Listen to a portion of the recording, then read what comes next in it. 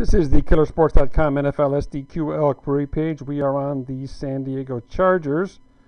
We're going to look at the Chargers at home, off as a off a game as a favorite, and their wins is equal to their losses, which means they're 500 on the season. So the Chargers at home, off a game as a favorite, they're 500 on the season. Normally, this would include wins and losses equal zero, which is the first game of the season, but previously they were a favorite, so it can't be the first game of the season.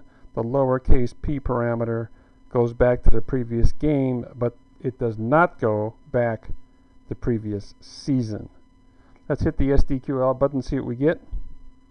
Chargers 0 12 over under in this situation. San Diego's allowing an average of only 15.2 points per game in this situation. That includes an overtime game right here that stayed under the total, went into overtime at 17. Over underline was 50. There are showing future games here, but of course the Chargers right now have a record of 0 and 0, so probably not all of these will be active once their record gets in the database for this season. That's today's sample query.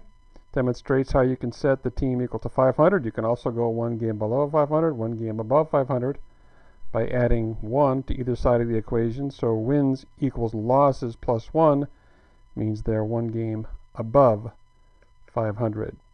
That's today's sample query. Back tomorrow with another. Thanks for watching.